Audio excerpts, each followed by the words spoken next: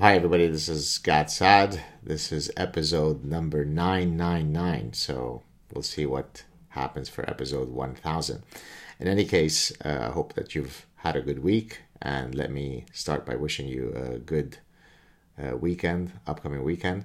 In any case, uh, I just posted a few uh, tweets regarding the continued intrusion of the die religion, diversity, inclusion, and equity into all spheres of life.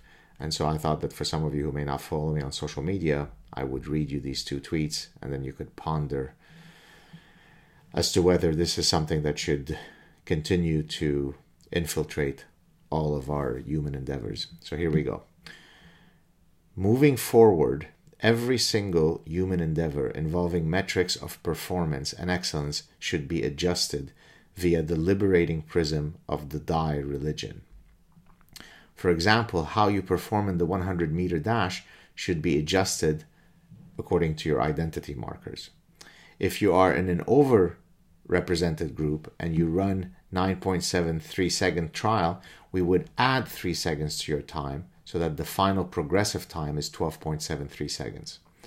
On the other hand, if you are from an underrepresented group and you run a 15.73 seconds trial, we would deduct 3 seconds from your time so that the final progressive time is 12.73 seconds. In this manner, both runners would end up with a final time of 12.73 seconds, ensuring a more fair and equitable reality.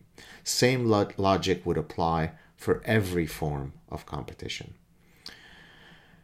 And then I wrote to my buddy Stephen King, who a few days ago did the unthinkable. He said, Hey, we shouldn't be using diversity in judging art, but given the fact that he suffers from an incurable case of gastritis, uh, he then walked it back. But no, you know, there are institutional barriers. We have to fight hard. And so I wrote to Stephen because I know that he is committed to the die religion as I am. So here's my message to Stephen. Dear Stephen King, just like you, I am disgusted by the lack of diversity in Hollywood.